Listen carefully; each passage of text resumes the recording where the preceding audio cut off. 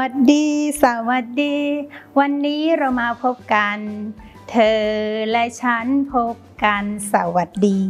สวัสดีค่ะ ท่านผู้ปกครองและนักเรียนที่น่ารักทุกคน คุณครูชื่อคุณครูปวีนามูลทองชุน หรือคุณครูออยค่ะ เป็นคุณครูประจำชั้นป .1 ทับ5ค่ะ รักและห่วงใยใส่ใจทุกคนค่ะ คุณครูจะสอนในรายวิชา ภาษาไทย คณิตศาสตร์ วิทยาศาสตร์ สังคมศึกษา ประวัติศาสตร์ และวิชาการงานอาชีพค่ะ คุณครูรู้สึกดีใจและตื่นเต้นมาก ๆ เลยนะคะ ที่ได้มาพบกับเด็ก ๆ ที่น่ารักทุกคน และขอต้อนรับเด็กๆเข้าสู่ห้องเรียนของเราค่ะ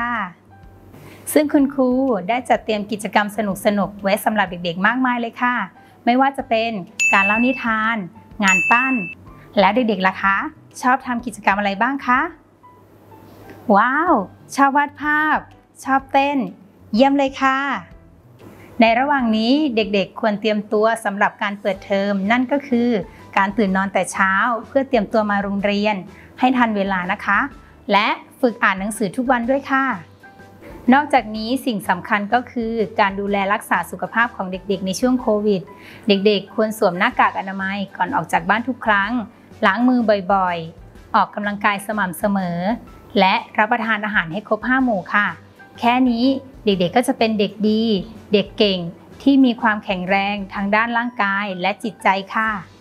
ก่อนจากกันวันนี้คุณครูฝากเด็กๆทุกคน ติดตามช่อง MV Kids ของทางโรงเรียนเราด้วยนะคะ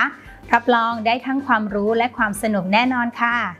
วันนี้เด็กๆได้รู้จักคุณครูแล้ว คุณครูขอรู้จักเด็กๆบ้างนะคะ โดยให้เด็กๆ ถ่ายคลิปวิดีโอแนะนำตัวเอง ส่งมาให้คุณครูในไลน์ส่วนตัวนะคะ คุณครูจะรอชมนะคะ